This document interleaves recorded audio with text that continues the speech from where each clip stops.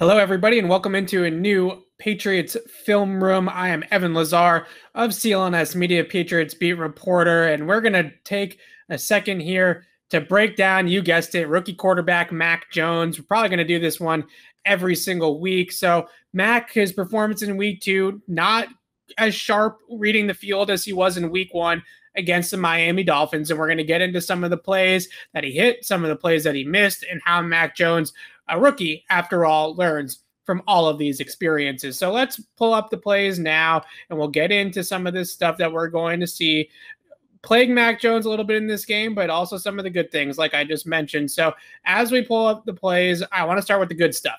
Now, this is the good stuff, right? So Mac Jones sees right here pre snap that the Jets have a single high safety and that single high safety is shading towards this side of the field on the far hash. Jakobi Meyers actually might have pointed it out, and Mac sees it. So what you're going to see is Mac do one of those alert alert calls, right? And he's going to check out of a running play. Patriots probably call two plays in the huddle, one run, one pass. And Mac has that ability to read the safety alignment. If it's too deep, then they're going to run the football single high like this they're going to throw the football. So Mac Jones gets out of this running play with the extra guy in the box, gets into a pass play, and checks into a fade from a condensed split at the bottom of the screen by Jakobi Meyers. So once again, we're talking about changing the play at the line of scrimmage, checking into the right run pass read based off the safety alignment, then getting the route set with Jakobi Meyers, resetting the protection to make sure that the protection scheme is different than obviously what the run blocking scheme would be. So getting sure make sure that he is protected on this particular play and then dropping a dime down the field in the bucket to Jakobi. So as we roll the play, you're going to see that Mac is just going to throw Oppo the safety rotation. There's the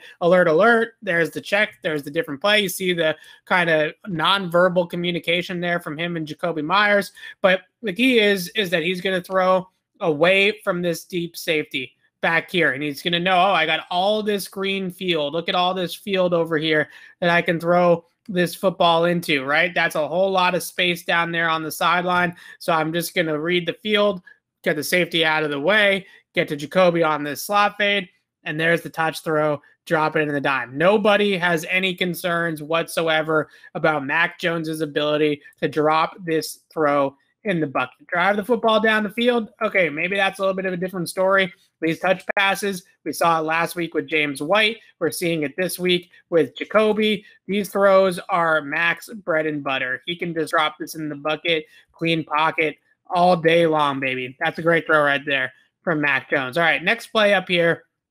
Guess what? It's Hoss Y Juke. Yes, the infamous Hoss Y Juke. So what the Patriots are going to see here on the outside, and this is still Hoss, even though these receivers do not run hitches on the outside, they're going to get press man coverage. So against press coverage, Hoss is going to convert on the outside to basically an all go concept. So you're going to get all these players up the field. These guys splitting these two high safeties.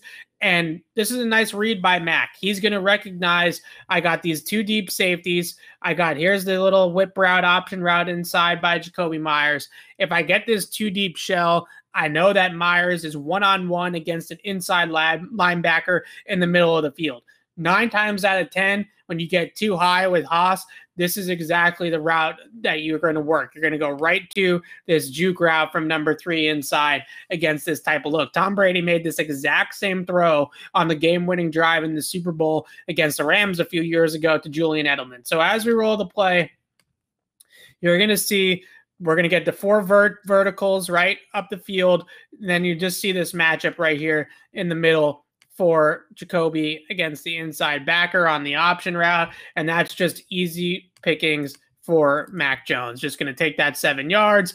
First and 10 becomes second and three. Now we're playing ahead of the chains. Those are the types of things that we love to look for from Mac. And that's the type of stuff that's really going to bode well for him all year long, his entire career, all those types of things. All right, this last play here, I really like this process keeping the feet ready. That's a big term that I want to use here with Mac Jones on this particular play, meaning making sure that your feet are aligning with your reads. You want to have your feet follow you through the progression. So what the Patriots are going to try to do here is they are going to try to get Hunter Henry open on this crossing pattern against cover three. The Pats knew and they tried to get this over route on these linebackers of the Jets. They knew that this cover three system was going to put these linebackers in single covered situations in the middle of the field, foot races against tight ends, against slot receivers on deep overs. So they're going to try to get Hunter Henry across the field. It gets covered up well. The Jets are able to cut this off. Backside here, he's going to have a little curl by Kendrick Bourne. And all he's going to do is he's going to read that the, the uh, linebackers are going to take away this over route. He's not going to panic. He's not going to hesitate. He's just going to get from one to two, and he's going to hit Kendrick Bourne on this hitch. So let's roll the play a little bit, and we'll see this happen. So as we roll it, hard play action fake, try to get those linebackers up. The linebackers don't fall for it. This linebacker in particular right here, he's going to jump this route by Hunter Henry. And here's the hitch window, right? There's the curl right there from uh, Kendrick Bourne. And as we keep rolling it, you see cut it off. There's the cutoff right there, and there's the throw. So cut off here. Here's this linebacker. He's cut off Hunter Henry's route, but here's the passing lane in there to Kendrick Bourne's route right there. And Mac just good process in the pocket, reading the field well here, sees the linebacker cut off the over route, gets to this underneath hitch, curl, whatever you want to call it, spot route, and the fumble that that's not on the quarterback. So those are the good plays by Mac Jones. Still, really clean process in all three of those plays. Good downfield accuracy, good timing through his progressions. Those are positive steps by Mac Jones and carryover basically from what we've seen from him in the first game, in the preseason, training camp, all those types of things. Positives for Mac. Now, here comes a few of the negatives. So, with this throw, I think there's two things that play here that are important to mention. First and foremost, timing with the deep ball, I would argue, is more important than arm strength. So I think we get caught up a lot of times in studying quarterbacks and we say, okay, the timing or, or, the arm strength, right, of just that ability to zip the ball in there, throw it deep on a line. Josh Allen, Patrick Mahomes, Deshaun Watson, Aaron Rodgers, whoever you want to call it, these deep ball throwers, you want to see that ball be zinged in there.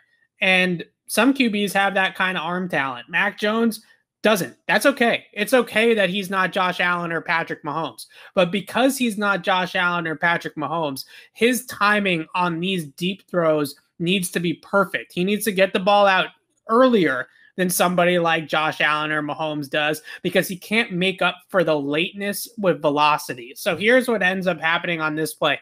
The Patriots, remember the play before, the Jets were cutting off those overs, right? So what they're going to run here is a double post or a dino concept. So they're going to have the inside post and then they're going to have a deep post to the outside. This is going to rotate into cover one or a cover three look, a single high, right? And this safety right here is the target.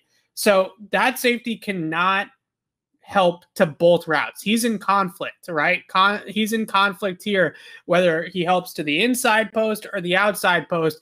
Somebody's going to be single cover. Somebody's going to be man to man. They can't help both on both the post routes. So that's a great single high beater. Dino, double post, whatever you want to call it, a great single high beater for this reason. Because when you have one high safety, somebody's going to have leverage and somebody's not going to have help. And that's what's going to end up happening here on the outside for Kendrick Bourne is this safety is going to come down and he's going to jump Nelson Agholor's inside post and it's going to leave Bourne one on one on the outside on the deep post. So as we roll the play here a little bit, I want you to see that safety jump it. And this is another good read by Mac. This is a good read. Okay. He sees this here. He sees that he's jumped this this one over here, and look at all this space. Kendrick Bourne behind the coverage. So you see they're bracketing this over route here by Nelson Agholor, right? With these two players, that's going to leave this space here in the deep middle of the field for Kendrick Bourne. And all Max got to do is get the football there and lead Kendrick Bourne into the end zone. Unfortunately, the ball comes out maybe a tick late. He feels the pressure off his left side and gets pushed just a little bit from that left side. And it causes the football to just be a split second too late and he just doesn't have the oomph or the zip to be able to make this throw. And it's behind Kendrick Bourne and it's nearly intercepted. I think we have the end zone angle of this one as well, because I think it's important to watch it from this angle too to kind of understand the timing and the reason why Mac Jones is just a little bit off on this throw. And that's all it takes, obviously, at the NFL. So as we run the, this play, you see this blitz here off the uh, left side, offense is left, defense is right. Blitz pickup by Damien Harris. He's going to do a decent job of inside outing it, but he does get pushed back into Mac. And watch Mac just kind of hesitate just a little bit there at the top of the drop. And when you don't have that flamethrower, you don't have that Brett Favre in you, right? That little bit of hesitation. Sorry, the play is lagging here. That little bit of hesitation is all you need. So that little hesitation there causes his ball to be late and behind, nearly intercepted. That is an open throw in the NFL. That should have been a touchdown for the Patriots, and it wasn't there. Okay, so here's another play, different issue, same result in general. Different issue being this time I don't think that Mac Jones stays on his first read for long enough and comes off of it. We can argue about why he comes off. The left guard, Michael Onwenu, does get beat. Maybe that was it he does originally get a look here from the Jets that both guys are covered. So the Patriots have this stack alignment here with Jakobi Meyers and Hunter Henry. The Jets are trying to communicate pre-snap how to defend this with these two coverage players right there. So most of the time, defenses call banjo. Call banjo call. That basically means that you're going to take the guy that breaks inside, you're going to take the guy that breaks outside and we're just going to switch this, right? If they end up going cross like this, right, we're just going to switch it and we're going to avoid getting picked. So the Jets bust this coverage. And I, again, I don't know why Mac Jones comes off this read, but he's looking at it initially. He's staring it down. And here's the point where he's about to come off. So you can see here Michael Onwenu is getting beat. My guess is, is that he feels that but if you look over here, it's clear that both Jets guys take Jakobi Meyers and Hunt. This coverage is done, right? Hunter Henry is going to be wide open here, and it's clear that Hunter Henry has gotten behind this defense and the coverage is busted. So even though Michael Onwenu gets beat and Mac maybe feels that kind of pressure. This is one of those throws that Mac was talking about after the game, where he said, "I need to hang into the, in the pocket more and hold the ball in a good way to make better downfield throws." This is what he's talking about. As a professional quarterback, you can't overreact to this interior pressure. What you have to do is one of two things: either move off your spot quickly, one of those Brady pocket movement type of plays, elude the rush and then make the throw down the field to Hunter Henry, or just stand in there and take the hit and make this pass to Henry work. So those are his two options, but either way, he's got to hit this for six. So you can see Henry wide open. Here he is. This should be a touchdown, right? This is just wide open receiver, but Mac comes off of it. He gets tries to get away from the pressure gets a little bit flustered and is going to end up throwing this ball for intentional grounding. So that's the type of play that you look at from Mac Jones. These are the types of throws that we got to have, right? The dino concept, the double post, that ball. I don't know if Mac Jones is going to make that throw in the NFL. That's a tough NFL throw that you really have to have a flamethrower to fit it in. He's got to be able to read this bust between these two players and see that Hunter Henry is open and not overreact to the pressure and stand in there and make this throw down the field to Hunter Henry. It's just a must for this Patriots offense to get where it wants to go. And these are the types of easy layups that Mac has to be able to hit. So it's not all bad for Mac Jones from this tape, right? it's not all bad. And here, here's the the beat from the left guard, right? Mike Onwenu is going to get beat right here. Circle it for you. Right there. There's the beat from the left guard. But I just want you to watch Mac Jones's eyes because he's right on it. Right? He's he's staring right at it here. Okay. He, he's looking right this direction. And I just don't know how he doesn't see the bust. And the only explanation is that he doesn't he feels the pressure and Mike Onwenu getting beat there causes him to get off his spot and leave it. But that's a throw that reset in the pocket, throw downfield. That's a throw that you gotta you gotta have somehow reset in the pocket, make it, or take the hit and make it that way. Either way, the Patriots need Mac Jones to get that throw, and it can't be intentional grounding. So there you have it. That is the Mac Jones film review for week two against the New York Jets. Some really good stuff early on, some really bad stuff there in the recap. He's a rookie quarterback, folks. Preaching patience here. Let's not overreact to one bad game or a couple of plays that he missed, but those are things that Mac Jones definitely needs to learn from. The double post, is he going to make that throw ever in the NFL? Is he not? The timing is going to have to be perfect for him to get that ball out early and get it there to Kendrick Bourne. But that throw to Hunter Henry, we got to have those. Those are the ones that Mac Jones has to hit. We will come back in the film room later on this week and next week. So keep it right here on Patriots Press Pass for all your Mac Jones film reviews and clnsmedia.com, where you can read my written post about Mac Jones's performance in week two against the New York Jets. I'm Evan Lazar for CLNS Media. Thanks for watching, everybody.